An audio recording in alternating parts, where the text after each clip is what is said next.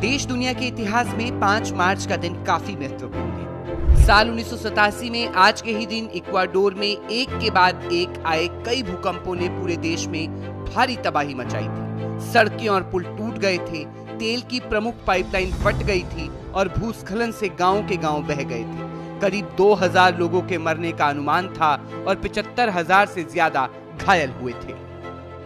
2008 में 5 मार्च के दिन भारत ने समुद्र से ज़मीन पर हमला करने वाली ब्रह्मोस मिसाइल का सफल परीक्षण किया था। आज भी भारत के लिए ये मिसाइल ब्रह्मास्त्र की तरह है। इसे लगातार अपग्रेड किया जा रहा है।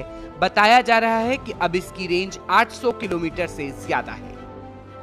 इतिहास के तीसरे हिस्से में बात करेंगे महात्मा गांधी की। आज के दिन साल 1931 में गांधी इरविन संधि के साथ महात्मा गांधी ने अपना सविनय अवज्ञा आंदोलन समाप्त कर दिया था। दरअसल अंग्रेज़ों के शासन के दौरान किसी के लिए भी नमक बनाना गैरकानूनी था, क्योंकि इस पर सरकार का एकाधिकार था। इसी तानाशाही के खिलाफ बापू ने सविनय अवज्ञा आंदोलन की।